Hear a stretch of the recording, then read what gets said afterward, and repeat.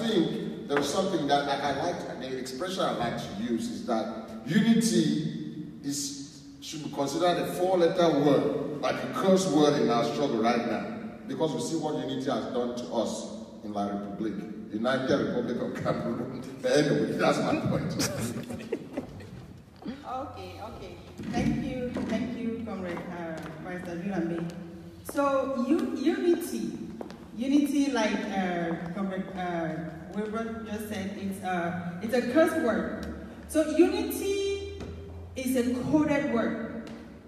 And what we're doing, collaboration seeks to uh, uh, uh, decode unity. So unity has been used in this struggle to actually divide us.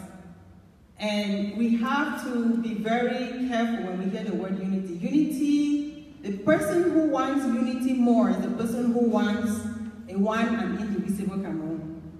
So that is who throws unity in the forum in a very sneaky way, and our people pick it up because unity is, is a good word, it's a nice word. And when you say unity, you sound like you're a good person. And then, and then the other person who is not talking unity is a bad person. And so it's a coded word that has been used in our struggle by the Republic infiltrating us to divide us. But because it is a nice word per se, people buy into it. So if what, what I think is because we Ambazonians, we are people who are being subjugated. We're looking for independence. What unity does, they, we are coming out of a unity that was only helping a few people on top. So we were united, but only a few people were more united than us. And those were, that was not Republic. And so we're coming out of something like that. So what collaboration does is collaboration give, gives us the independence. So we're oh, collaborating as independent people to get to independence versus a unity where we come and sit in one room and one person is telling us what to do.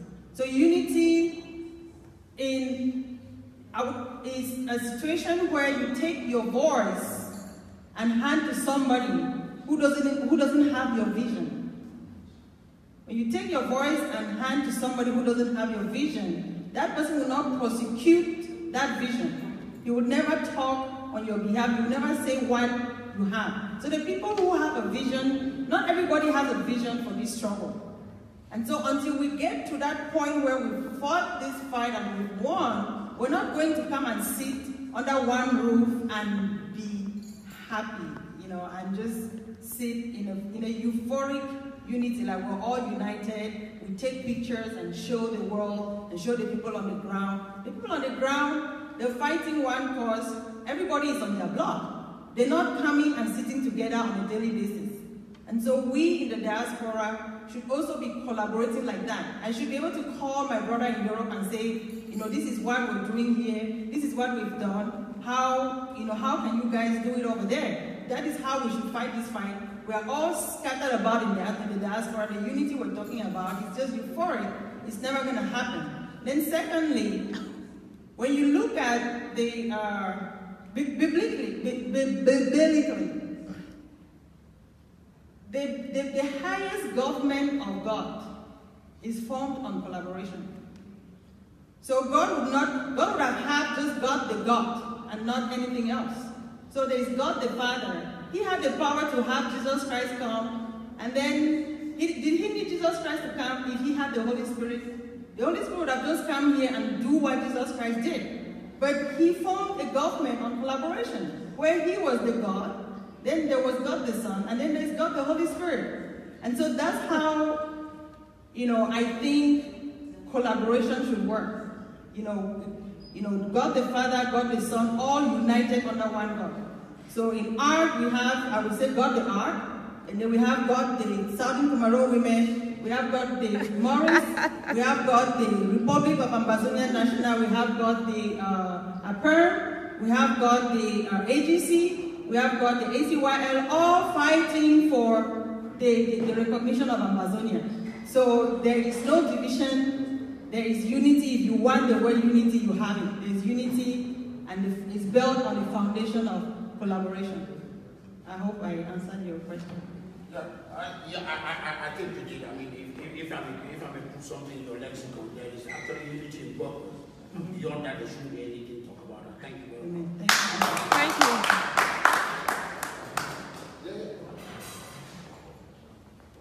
Can we, is it possible to bring that in front? Uh, Is it oh, possible okay, so to want, okay. Yes, if you I don't think- mind. think, yeah. Thank you. yeah, so that way you can get, Everybody, and the questions as well. since this man decided to start adjusting this thing like he's a musician.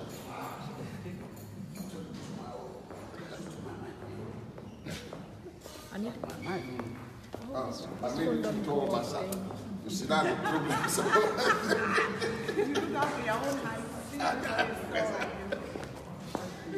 Thank you all. uh, thank you, and thank you all. Um, uh, I really want to thank you all for the wonderful work, and uh, I want to thank also Tumfo Boy Heaven for the wonderful work that you guys are doing in the app.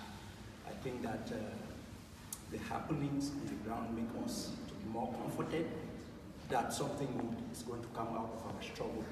Uh, I just want to make a couple of points of reflection as to some of the things that will definitely come to you uh, as a leader of this movement. The first one is about the vote of April 1961. I think we have to make it a point to remind some of the countries that voted that they should be able to answer for where their vote. Most people have not talked about this point, but I think it's important that all the countries that overwhelmingly voted for us to gain independence, they have to make a statement.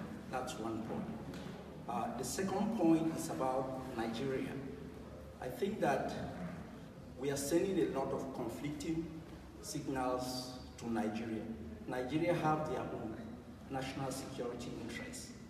We know about what happened in Biafra and that any government in Nigeria will be very weary about the possibility of Biafra and Ambazonia joining up. So I see some leaders of ACT going and holding meetings with people of the Biafra movement. That is a very, very dangerous uh, moves that uh, our people can afford to, to be engaged in now.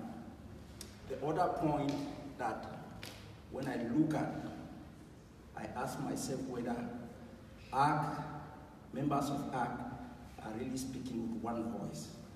I have been immersed in the struggle for as long as it exists. Uh, Dr. Akwanga, Dr. Ayaba, all of them, they are my junior brothers.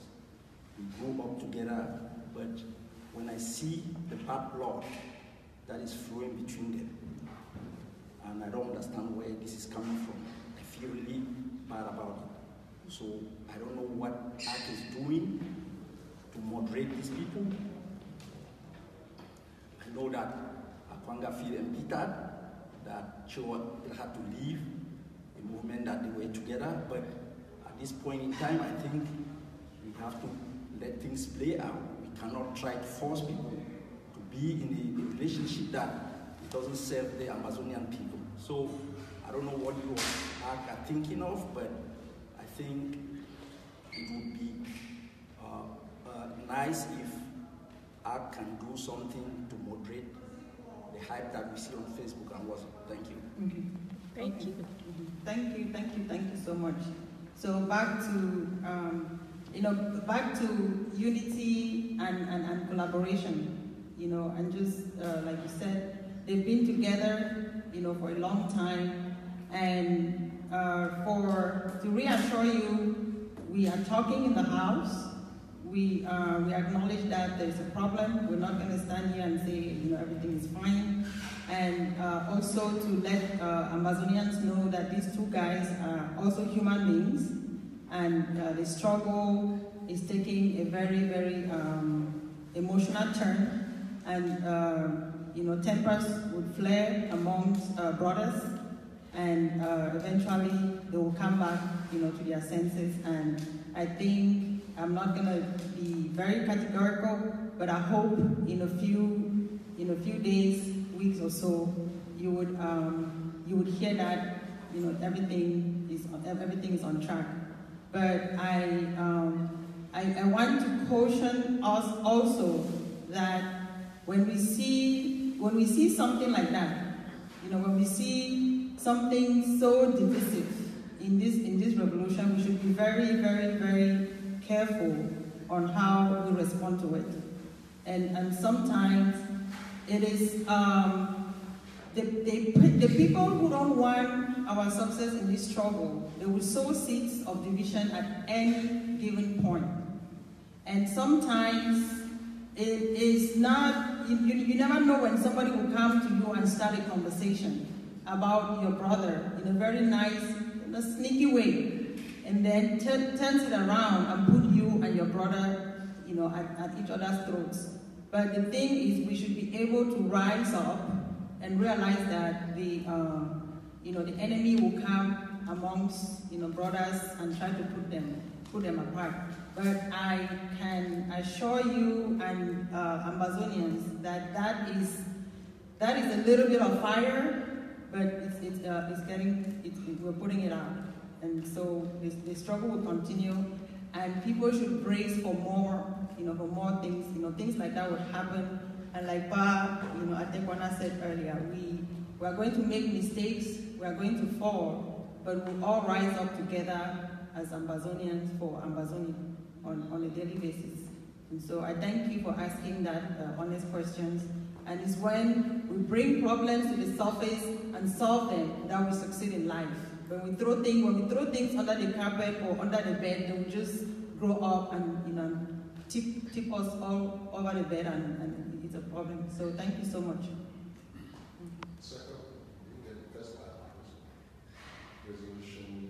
Oh, resolution 1608. Yes. So, yeah, I was on, we were on uh, Face, I was on Facebook, was it Facebook Live or, yeah, when we talked about resolution 1608. And I was really highlighting that, uh, that document of where, you know, uh, the vote, the, the, the tally of that vote and the 64 countries that voted for our independence. So what we're asking for every country, every, every, every Ambazonian who lives in, uh, in a country that voted for our independence, not just a country that voted for our independence, but those that did not vote, you know, their reason for not having voted might have changed. And so if you approach them today, they would say differently. So most importantly, focus on those that voted, but it's not, don't, don't leave the ones that did not vote out. Because given what is going on today, they might actually, you know, uh, change their vote. So they might be the ones that would recognize us even before the ones that, you know, voted for us. So anybody who is on that tally, you know, that, those, those are people who know about our problem, you know, who have first-hand or, you know, some history about our problem, whether they voted yes or no, or they abstained. But, you know, those are people we need to approach. And for example, we had uh, July 4th, which was Independence Day in America. It is still, uh, still considered Independence Month. So we should be talking to Americans about their independence and about, and about our independence, congratulating them on their anniversary, but reminding them that, hey, the one that you voted for in 1961 is still, uh, is still pending. And so this is how we would like for you to help us. You know, a petition to, to, to hand to them, you know, can you please talk to your congressperson, can you talk to your mayor, can you talk to your council leaders, anybody you can talk to about Southern Cameroon. Push your, your congress people, your, your senators, your, uh, uh, your, um, your politicians to, to see they can take our case to the United States uh, Senate. The same thing with uh, Ambazonians living in Australia, the same thing with those living in the United Kingdom, um, New Zealand, you know, all those countries that voted for us. And, and those that did not, like I said, because they, are, they, they, might have changed today, you know, so it's not anybody who's, uh, any country whose name is on that tally. Yeah, just, just to add one piece of evidence about uh, this joining, because based on uh, what the trusteeship council had done, it, was expected that if any country was gain sovereignty, they would actually register that at the United Nations. And to the best of my knowledge, whatever uh, discussion that La Republic had with us, there's no trace that we ever uh, joined the two countries. Mhm. Very important. Mhm. Yeah, and, and that is what um, me Edwin was pointing out earlier. And so is that is that something you know we can remind those people you know when you voted for us because somebody I mean it was 1961 and you're approaching somebody today so they will ask you what happened where you know what has happened between 1961 and now that you're going on you're going through a genocide and so that is something you know to, to, to either way we had some kind of a camp stay you know and so we need we need to bring that up. You have a question? Um, council then we can be taken to people and get well, um, I, I was out, I cannot this day go by without bringing this up. And I was out of the room when um, my sister Victorine Bolanga was called to, to pray for us. And I think we haven't met since we celebrated Pa Mulal Joy Dube's birthday, was it 91st birthday? Um, and so this is the first time I'm seeing her, but a lot has happened since then. We all know that there was a reboot, um, there was ARC, a birth from the reboot, and today we're here doing an ARC open house. And I don't know whether she's here in her capacity as um, any Southern Cameroonian or Ambazonian, or whether she's here representing the entity that she belongs to, which is um, IG. But either way, um, I would be interested in knowing what her thoughts are with respect to where we are now with the formation of ARC and what we have laid out as um, the agenda of ARC. The reason I want to do this is because um, we are indeed a collaborative platform. We are not exclusive, um, and, it, and we, we cannot get enough input from whichever direction. And contrary to the popular opinion or some of the opinions out there that um, we are shutting out certain people or shutting out certain entities, we welcome every Ambazonian entity that is working towards our independence. Uh, and therefore, my question to her, to my sister Victorine Bolanga, is um, what are your thoughts on, on ARC and the agenda that has been laid out here today by the chair lady and a host of other ARC uh, members and just people who are here today? Thank you.